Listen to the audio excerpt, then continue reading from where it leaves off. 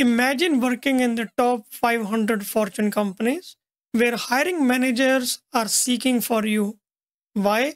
Because you have the industry most recognized CPACC certification.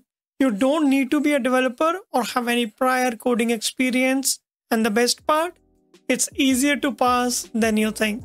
By the end of this video, you will have a clear roadmap to prepare for the IAAP CPACC exam including an 8 week study plan, the cost of certification, and tips to pass on your first attempt. Stick around till the end because I have got a few questions for you to test your knowledge. The biggest mistake people make when preparing for CPACC is that they overcomplicate it. They dive into endless resources and lose themselves in legal jargons. And by the end of week 3, they quit. But what if I told you that you only need 8 weeks and a structured plan to pass this exam. No overwhelming, no guesswork. Just a clear, step by step roadmap to succeed. And by the way, if you are wondering why should I even get CPACC certified, let me tell you. Fortune 500 companies hiring web accessibility specialists prefer CPACC certified professionals. This credential gives you an edge in job interviews, raises your credibility, and proves your understanding of accessibility beyond just compliance. This is your ticket to a career growth. And before we start, drop a comment below saying CPACC ready if you are planning to take the exam this year. Let's see how many future CPACC pros we have in this community. Hi, I'm Param Singh a certified professional in web accessibility, a certification that requires passing both CPACC and WAS. Alright, before we jump into the study plan, let's break down the exam details. You will get 100 multiple choice questions and you'll have 2 hours to finish it. The passing score is roughly around 70%. There are no prerequisites. Anyone can take this exam whether you're a developer, UX designer, content writer, or a project manager. The cost for non IAAP members is $425 for your first attempt and $325 for a retake. For IAAP members, it's $325 for your first attempt and $225 for retake.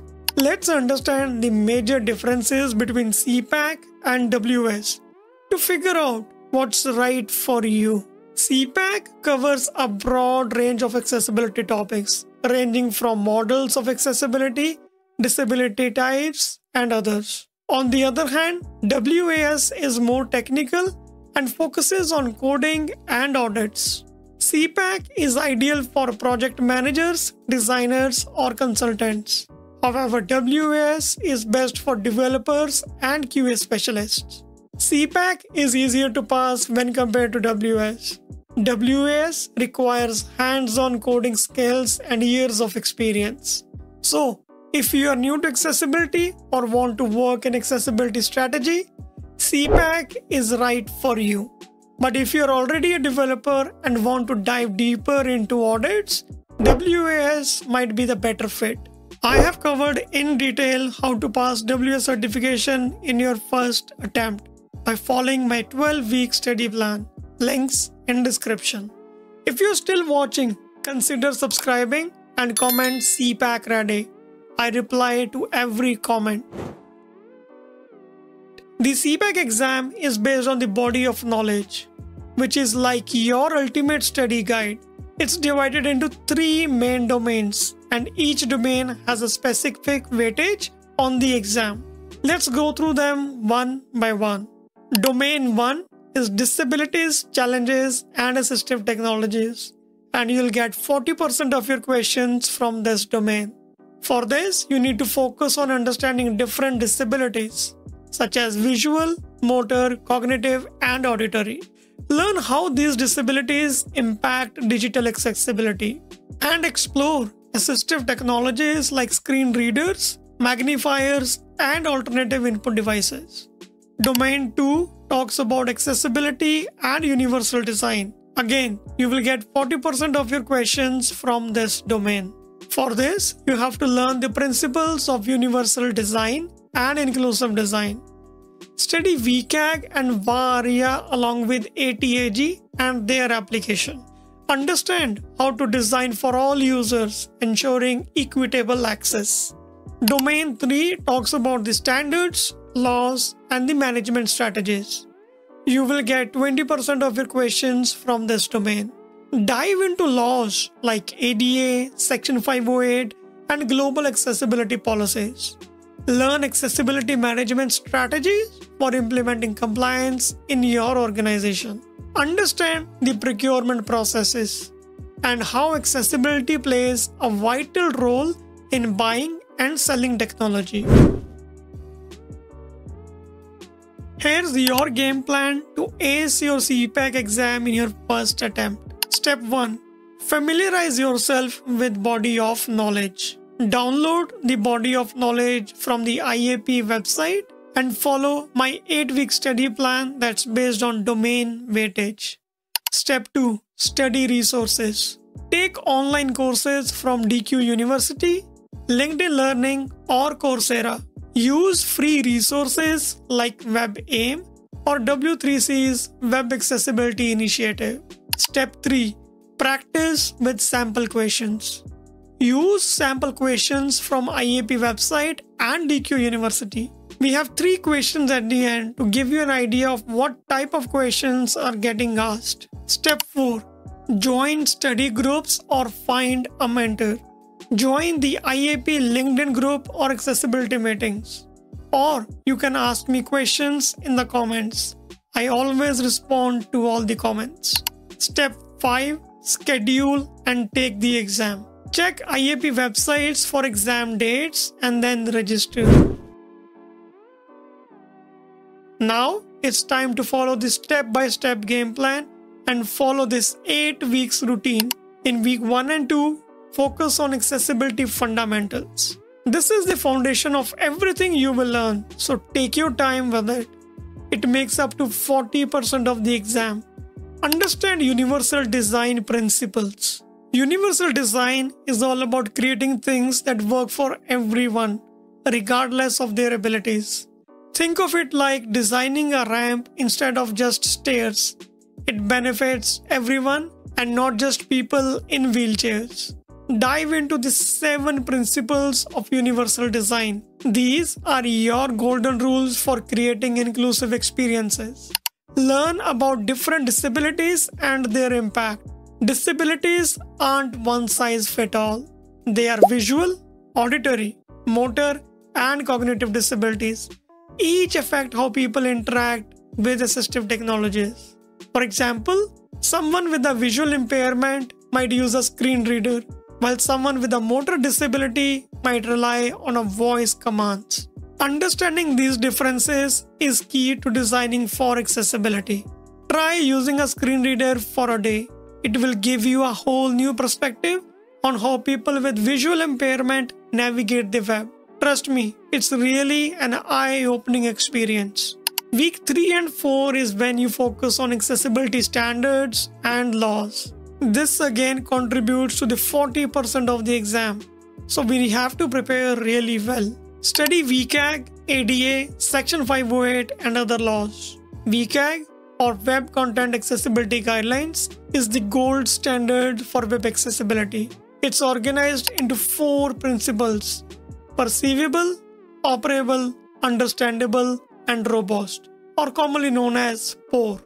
ADA or Americans with Disabilities Act and Section 508 are US laws that require accessibility in public spaces and digital content.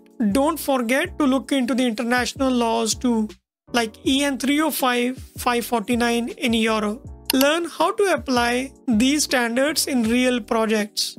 It's not enough just to know these rules. You need to know how to use them. For example, if you are designing a website, how do you make sure it meets all these regulations? Practice by auditing a website or an application. Use free tools like Axe DevTool to check for accessibility issues. Comment if you knew that WCAG 2.2 was released in 2023 with 8 new success criteria and one success criteria was removed.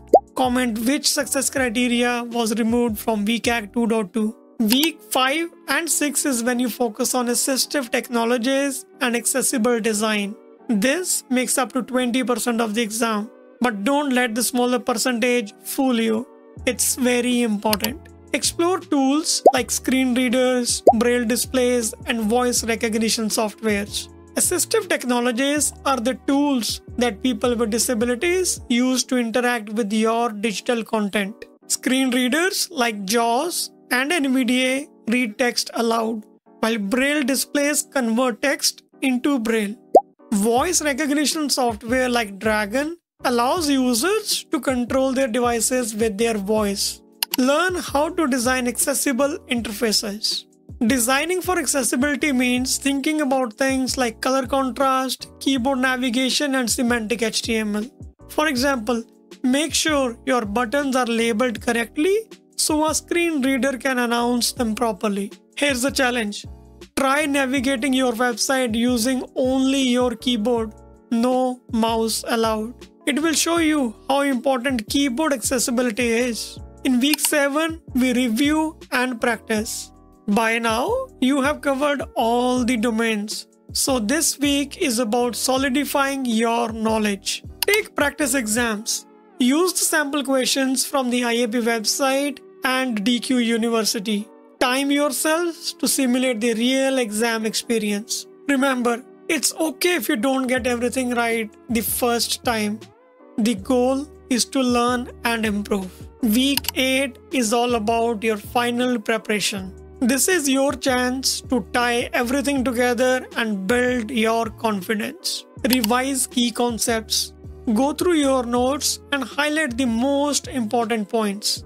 Focus on key items from each domain and trust your preparation. I understand preparing for CPACC exam is challenging, but with the right preparation, you can do it. Now it's time to test your knowledge. These are the type of questions that might be asked.